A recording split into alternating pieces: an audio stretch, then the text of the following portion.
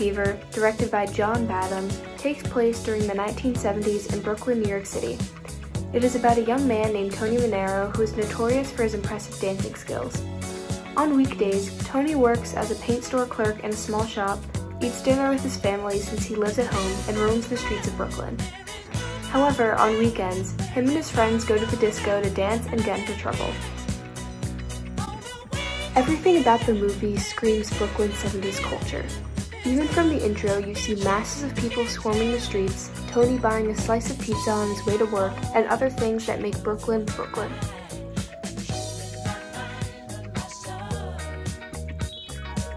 For young men and women in the 70s, life mainly consisted of drinking, smoking, drugs, and other fun activities.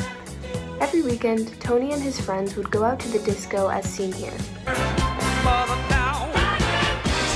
Look at that chicken.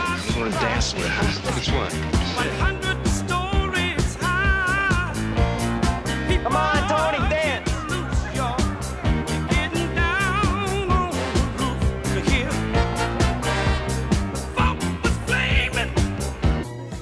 However, an extremely prominent theme during this movie was sexism, which was a common sight to see during the 70s. In many occasions, women were seen being pushed around and treated like objects.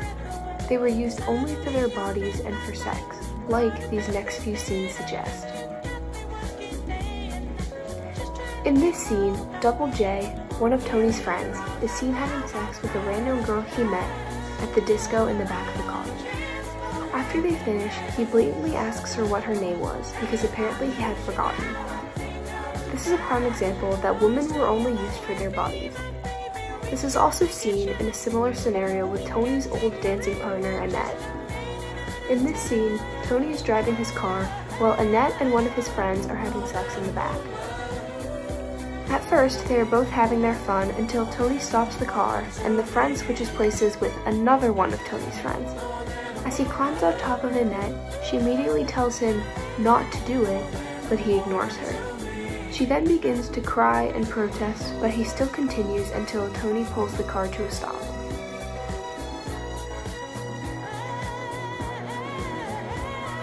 In this movie, both the education level and political correctness are quite low. The first thing that stood out was a scene with Tony and his friends. They were walking along the street when they passed by what seemed to be either a gay or transgender couple. Make that much money in a whole life. Hey, douche, douche.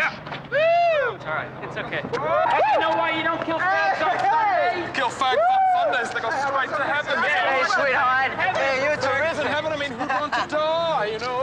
Hey, Double J. They threw out many politically incorrect jokes and slang terms, physically bumping into the couple as they passed.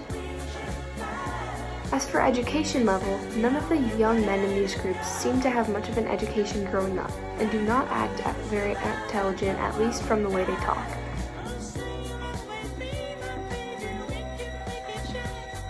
The fashion in this movie also is very representative of the time period.